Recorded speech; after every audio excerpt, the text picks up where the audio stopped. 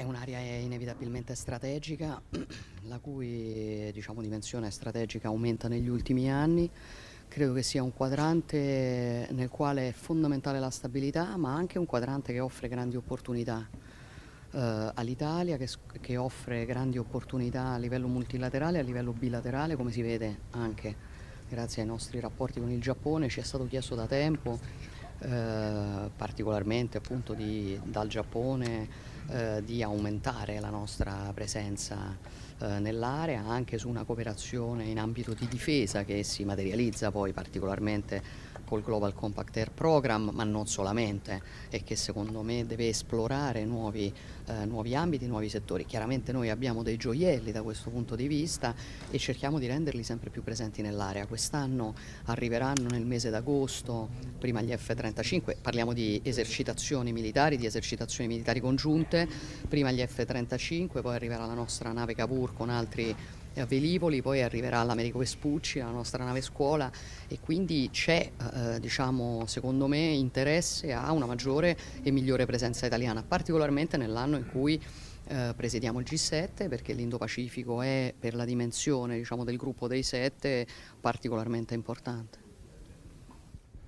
Presidente, oggi a Roma sono stati depositati gli emendamenti sul premierato, è soddisfatto del compromesso che è trovato nella maggioranza e invece dalla parte dell'opposizione è arrivata una valanga di emendamenti.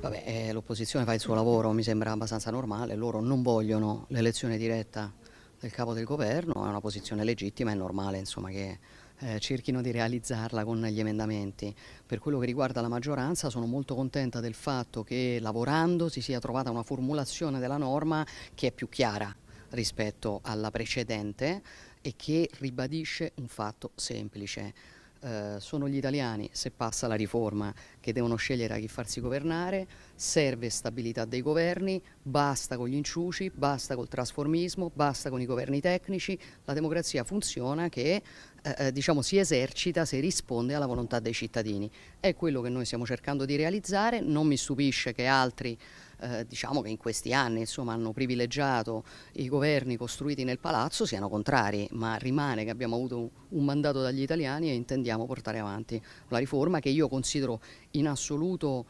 la madre di tutte le riforme, perché una forza e una stabilità della politica può anche generare eh, diciamo, eh, tutte le altre riforme che sono necessarie in questa nazione. Presidente, di dimettersi. Presidente, oggi uno dei leader degli ha detto che eh, l'Italia sarà un bersaglio se partecipa alla crisi contro eh, Come valuta il governo questa minaccia? Guardi, io penso che sia nel nostro interesse e sia nostro dovere garantire la libertà di navigazione. Attraverso il canale di Suez eh, eh, diciamo, transita il 15% del commercio mondiale se eh, quel canale non fosse disponibile noi avremmo come diciamo, immediato riscontro l'aumento dei prezzi sul 15% dei prodotti